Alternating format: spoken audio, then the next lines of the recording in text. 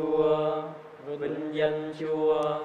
Khi ấy có người trong nhóm luật sĩ tiến đến Chúa Giêsu và hỏi Chúa rằng: Thưa thầy, trong các giới ranh điều nào trọng nhất?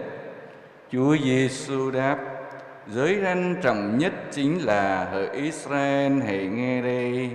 Thiên Chúa Chúa chúng ta là Chúa duy nhất và ngươi hãy yêu mến Thiên Chúa ngươi hết lòng, hết linh hồn, hết trí khôn, hết sức người.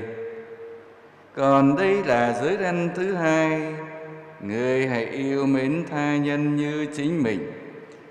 Không có giới răn nào trọng hơn hai giới răn đó.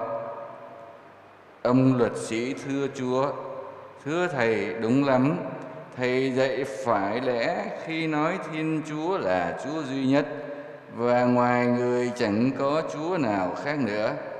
Mến Chúa hết lòng, hết trí khôn, hết sức mình và yêu anh em như chính mình thì hơn mọi lễ vật toàn thiêu và mọi lễ vật hy sinh. Thấy người ấy tỏ ý kiến khôn ngoan, Chúa Giêsu bảo: Ông không còn xa nước Thiên Chúa bao nhiêu và không ai dám hỏi người thêm điều gì nữa. Đó là lời Chúa. Lạy Chúa Kitô, ngài khen Chúa. Ông bạn chị em rất thân mến, hôm nay lời Chúa mời gọi chúng ta xét mình lại về đời sống mến Chúa và yêu người. Luật Do Thái quy định đến 613 điều răn. Nhiều như thế nên thầy thông lật đã hỏi Đức Giêsu: "Thưa thầy, điều răn nào trọng nhất?" Chúa xác định không có giới răn nào trọng hơn hai giới răn là mến Chúa hết lòng, hết trí khôn, hết sức mình và yêu thương người lân cận như chính mình. Đối với luật Do Thái, người thân cận là những người đồng bào ruột thịt cùng niềm tin tôn giáo của mình. Còn đối với Chúa Giêsu như trong tin mừng Luca chương 10 câu 25 tới 28 nói về dụ ngôn người Samari nhân hậu thì người Samari và người bị cướp, bị đánh đang nằm dở sống dở chết bên đường. Họ đã trở thành thân cận với nhau. Dù họ không cùng là đồng bào, không cùng là niềm tin, nhưng họ cần đến nhau và họ cần thể hiện lòng thương xót. Người bị cướp cần lòng thương xót, cần sự giúp đỡ. Còn người Samari đối với ông cần thể hiện lòng thương xót.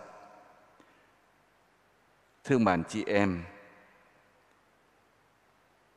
chúng ta có lẽ sẽ có thể cảm động khi nghe lời phát biểu của một đại diện chính quyền nói trong buổi lễ đón và tri ân các tình nguyện viên tại Bệnh viện Hồi sức chuyên sâu COVID-19 được đăng trên trang mạng Hội đồng Giám mục Việt Nam ngày hôm qua 30 tháng 10 2021 rằng Thật vui mừng vì những sự giữ vì nhờ sự giữ gìn của Chúa các vị được an toàn khi thực hiện sứ mệnh tại bệnh viện hồi sức này. Cảm ơn các vị đã hóa thân từ vai trò linh mục, tu sĩ trở nên đồng nghiệp với các y sĩ và nhân viên y tế để đóng vai trò điều trị tâm lý, dinh dưỡng, phục hồi chức năng và cả vai trò lao động vệ sinh nữa. Mỗi người một việc, nhưng chỉ nhằm giúp cho bệnh nhân mau chóng bình phục để trở về với gia đình. Như vậy, họ thực sự đã trở nên thân cận của nhau khi cùng nhau chia sẻ phục vụ và hy vọng yêu thương, như lời phát biển như lời phát biểu tiếp theo rằng, rất mong chúng ta không còn phải gặp nhau ở vai trò điều trị bệnh nhân covid nữa, ai cũng sợ lắm rồi. Nhưng sẽ hướng về một cộng đồng xã hội yêu thương và hạnh phúc hơn. Như vậy họ đã có quyền hy vọng vì như lời một tu sĩ đã phát biểu sau hai tháng phục vụ bệnh nhân Covid tại bệnh viện này rằng Thầy là người đã sung phong không phải chỉ phục vụ một ca thôi mà là ba ca mỗi ca bốn tiếng mỗi ngày. Thầy đã nói thế này, yêu thương không được trì hoãn, trì hoãn một giây thôi sẽ hối hận cả đời khi phục vụ các bệnh nhân Covid để giành lấy từng hơi thở mà sống. Đó là trong xã hội trở nên thân cận với nhau như vậy. Còn trong năm nay là năm gia đình niềm vui của tình yêu. Gia đình chúng ta cần sống mến Chúa, yêu người ra sao? Chúng ta kề cận bên nhau trong gia đình. Nhưng chúng ta đã thực sự là thân cận của nhau chưa? Vì đức thánh cha francisco đã cảnh giác chúng ta trong tông huấn về gia đình niềm vui của tình yêu rằng, nhiều khi sống quá gần nhau trong gia đình, chúng ta lại mất dần nhạy bén trong lòng thương xót nhau. Thật ra ai cũng muốn cho gia đình mình đầm ấm hạnh phúc cả. Nên đã phải đầu tư bao nhiêu là tiền bạc, ngày giờ làm việc, bồi dưỡng học hành cho mình. Rồi muốn nhìn tới tương lai, cho nên cho con cái học thêm. Nhiều môn, nhiều thứ, nhiều kỹ năng. Hẳn nhiên đó là những điều cần ra là đối với xã hội hiện nay. Nhưng nhiều khi dù là Kitô hữu, chúng ta vẫn quá bận tâm tới những lo lắng vật chất tự nhiên đó mà chúng ta quên bẵng lời Chúa như trong bài đọc một hôm nay rằng Hỡi dân ta, hãy lắng nghe lời ta đây, hãy tuân hành các điều răn Chúa thì các con sẽ được hạnh phúc. Lời Chúa trong Thánh Vịnh cũng có nói nếu Chúa không xây nhà thì thợ nề vất vả cũng chỉ là uổng công. Là gia đình Kitô hữu, chúng ta cần vững tin tuyên xưng mỗi ngày.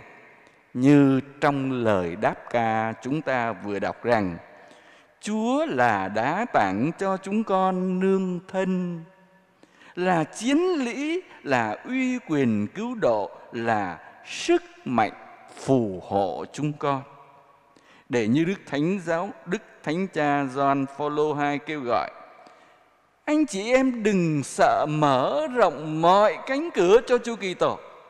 Đừng sợ dành thời gian công việc xây dựng đời sống đức tin qua thánh lễ, nhất là cùng nhau tham dự thánh lễ Chủ nhật, ít là thánh lễ trực tuyến trong hoàn cảnh dịch bệnh như hôm nay.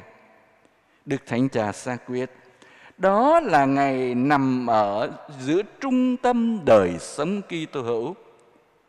Anh chị em đừng sợ phải dâng cho Chúa Kitô thời giờ của anh chị em.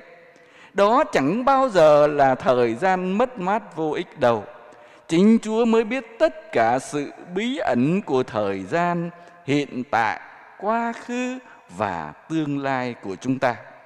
Chính người đã trao phó cho chúng ta mỗi ngày Chủ nhật, ngày của người như một ân phúc luôn mới mẻ của tình yêu người vẫn luôn thương ta.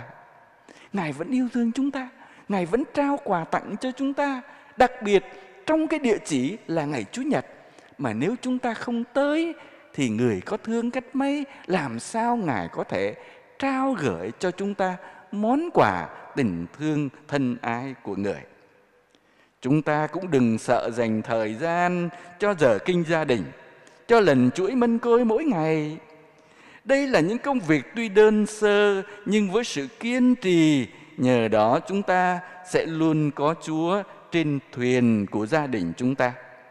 Như lời đức thánh giáo hoàng cũng đã xa quyết trong tông huấn về kinh minh côi.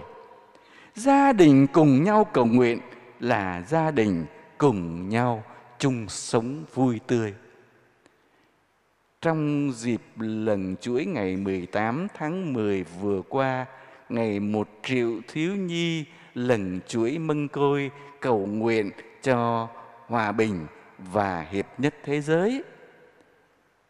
À, có một số các giáo lý viên đã gửi về à, trung tâm những bức hình của những gia đình ông bà cha mẹ con và cháu chắc nữa cùng nhau ngồi lại trong gia đình cầu nguyện với lời kinh mân côi rõ ràng là một khung cảnh mà đức thánh cha đã nói, gia đình cùng nhau cầu nguyện là gia đình cùng chung sống vui tươi.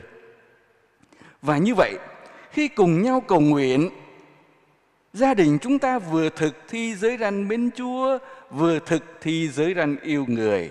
Để từ gia đình chúng ta, lòng mến Chúa yêu người được lan tỏa tới các gia đình khác như chính Đức Thánh Giáo Hoàng John Paul đệ nhị cũng xác định cho chúng ta, vì Thiên Chúa đã ủy thác cho các gia đình, đặc biệt là những gia đình Kitô hữu chúng ta, kế hoạch của người là làm sao cho thế giới này trở nên một gia đình hơn, yêu thương nhau, vui tươi và đầm ấm hơn lạy chúa xin hằng củng cố tấm lòng và cuộc sống của con trong tình mến chúa, yêu người mỗi ngày. Vì chính chúa luôn hiện diện, luôn hiện thân và vui buồn nơi mỗi người, anh em chung quanh con, nhất là những người trong gia đình con. Amen.